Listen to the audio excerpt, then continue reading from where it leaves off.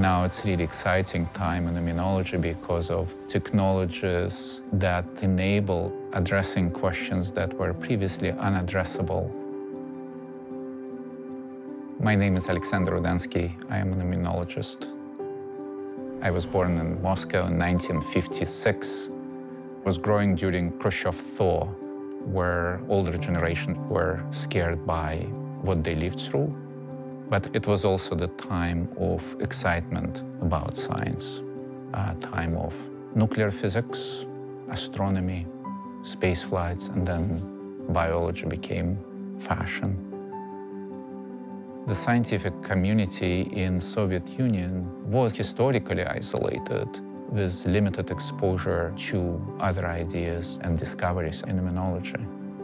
In February 1990, we came with three kids to United States. Three weeks after we arrived, our fourth child was born. We discovered daily life pleasures and stresses, and also very exciting science. I came to become a postdoctoral fellow at Yale. In 1992, I was offered a faculty position at the University of Washington there was a young, new immunology department. Our studies focused largely on biology of regulatory T cells. Regulatory T cells represent a specialized subset of T lymphocytes whose function is to keep in check uh, responses of other types of cells in the immune system. We had a study that regulatory T cells may represent a dedicated cell type.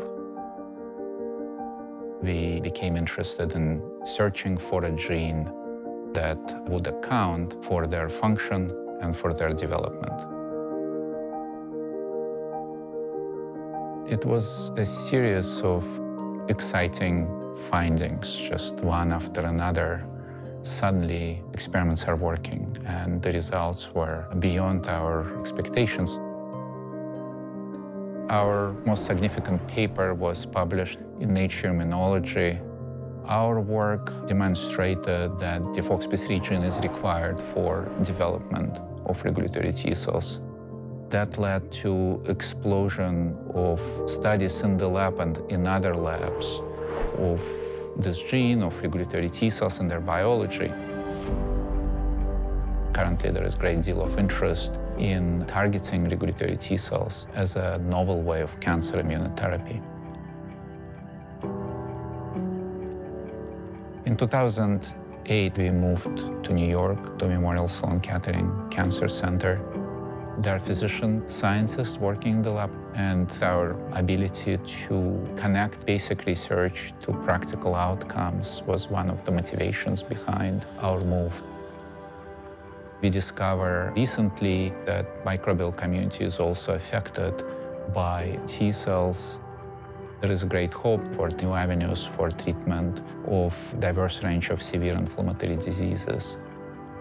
I fell in love with the field of immunology when I was a student, and I still remain in love with this field.